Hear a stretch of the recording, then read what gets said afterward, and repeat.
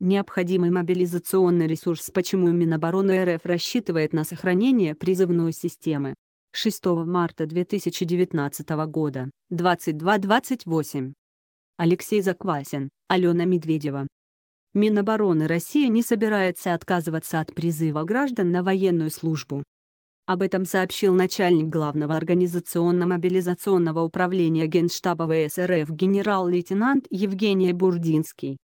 Сейчас в армии служат более 380 тысяч контрактников, а уже к 2025 году численность профессиональных кадров ВС должна увеличиться до 475 тысяч. Профессиональными кадрами комплектуются боевые части постоянной готовности, а призывники составляют основу мобилизационного ресурса. Эксперты полагают, что такой подход оборонного ведомства соответствует экономическим возможностям России и адекватен характеру военных угроз. Евгений Бурдинский в интервью газете «Красная звезда» заявил, что Минобороны намерена и в дальнейшем сохранять призывную систему комплектования вооруженных сил. По его словам, на сегодняшний день число контрактников превышает количество призывников в пропорции 1,7 к 1, 58 и 42%. В последние годы значительно увеличена численность проходящих военную службу по контракту. Вместе с тем, с учетом необходимости накопления военно обученного мобилизационного людского ресурса, а также исходя из финансово-экономических возможностей государства не в ближайшей, ни в долгосрочной перспективе полный отказ от призыва граждан на военную службу нецелесообразен, сказал Бурдинский. По состоянию на декабрь 2018 года службу по контракту в рядах российской армии проходили 384 тысячи человек, по призыву – более 260 тысяч человек. В планах Минобороны РФ увеличить к 2025 году численность профессиональных кадров до 475,6 тысячи. При этом количество призывников будет сокращено до 220 тысяч. Как неоднократно отмечали в оборонном ведомстве, основная причина перехода вооруженных сил на контрактную основу заключается в том, что в войска поступает все больше сложного вооружения, и навыки, полученные солдатом-срочником, недостаточны для эффективного обслуживания и эксплуатации новой военной техники. Управление современным вооружением, которое поступает в подразделение, требует от военнослужащего высокой квалификации и знаний. Призывник за год службы не может освоить этот багаж знаний. Поэтому увеличение доли контрактников привело к тому, что уровень профессионализма и боевой выучки в армии значительно возрос пояснил в беседе с RT коммерческий директор журнала «Арсенал Отечества» Алексей Леонков. Как отметил эксперт, контрактниками обеспечиваются боевые части постоянной готовности, а из призывников формируется мобилизационный ресурс, который будет задействован в случае широкомасштабной агрессии против России. По этой причине в России необходимо сохранить призывную систему, считает Леонков. На этапе реформ Строительство контрактной армии в России началось еще в 1990-е. В мае 1996 года президент РФ подписал указ номер 772 о полной отмене в стране системы призыва. Согласно документу, в 2000 году вооруженные силы должны были полностью перейти на контрактную основу. Однако указ главы государства не был выполнен из-за тяжелой экономической ситуации и отсутствия необходимого числа желающих.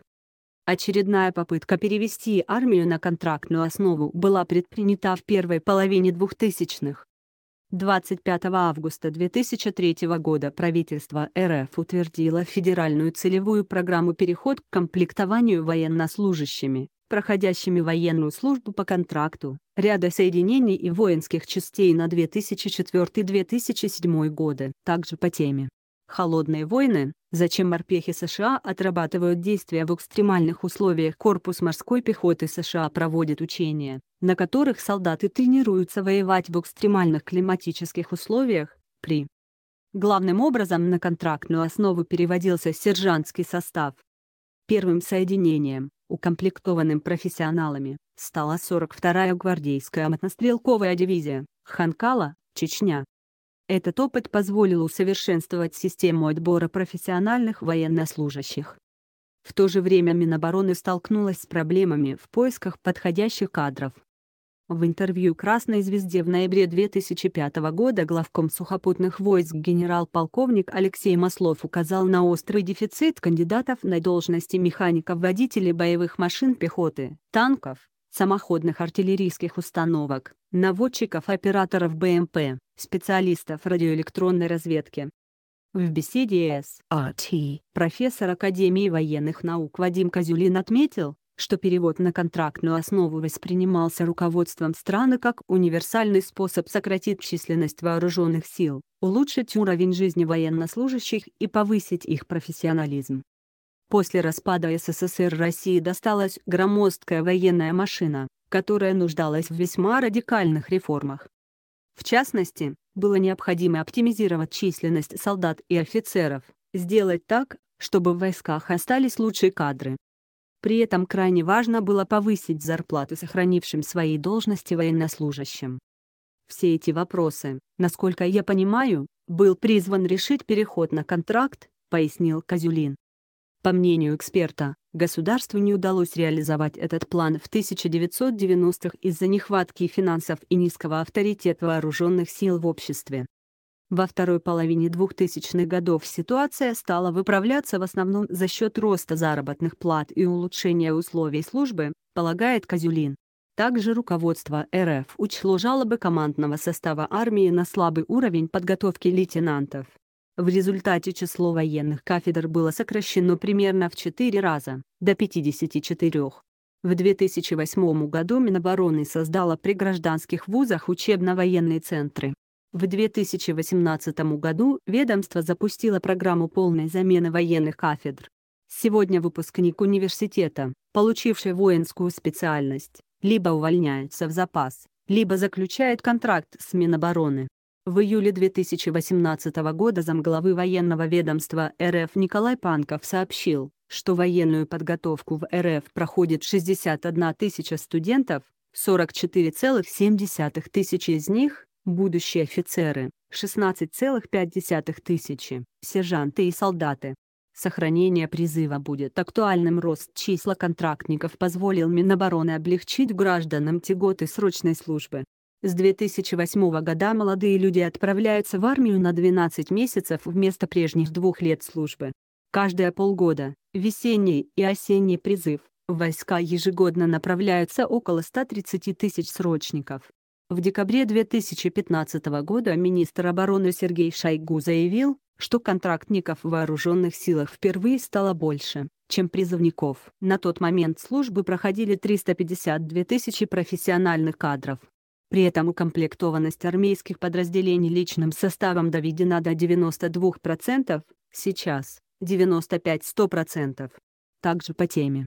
Серьезная угроза для эсминцев как Россия выстраивает эшелонированную береговую оборону Тихоокеанский флот России получил береговые ракетные комплексы БАЛ, сообщила пресс-служба Минобороны РФ.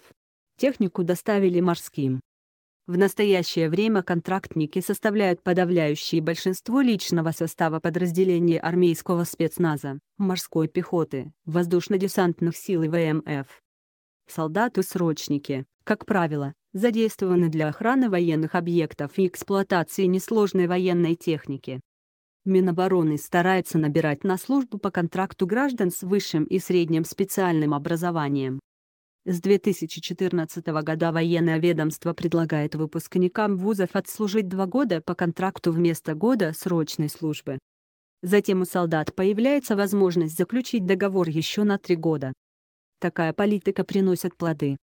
Например, около 40% российских десантников получили высшее или неоконченное высшее образование.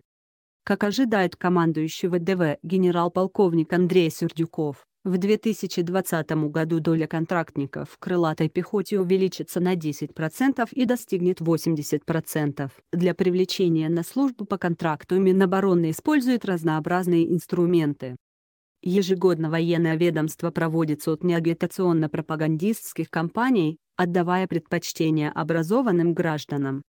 Также Минобороны гарантирует военнослужащим предоставление возможностей для профессиональной самореализации, социальные привилегии, право на льготную ипотеку после пяти лет службы и достойную оплату труда при сохранении 40-часовой рабочей недели.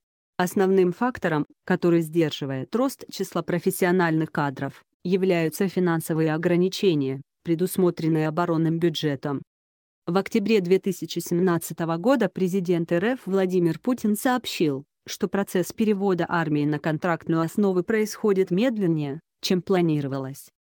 Однако глава государства подчеркнул, что потребность ВС в срочниках будет неуклонно сокращаться. Алексей Леонков считает, что текущее соотношение в войсках контрактников и срочников является оптимальным с учетом экономических возможностей РФ и характера военных угроз. По его мнению, уровень профессионализма вооруженных сил далеко не всегда определяется способом комплектования. В качестве примера эксперт назвал армию Израиля, костяк которой составляют призывники. В наших условиях не очень правильно полностью полагаться на контрактную армию. Если начнутся активные боевые действия, то сразу возникнет проблема кадрового голода. Конечно, мгновенно восполнить потери среди профессиональных кадров не получится. Однако нынешняя система комплектования однозначно обеспечит необходимый мобилизационный ресурс. Сохранение призыва будет актуальным еще очень долгое время, резюмировал Леонков.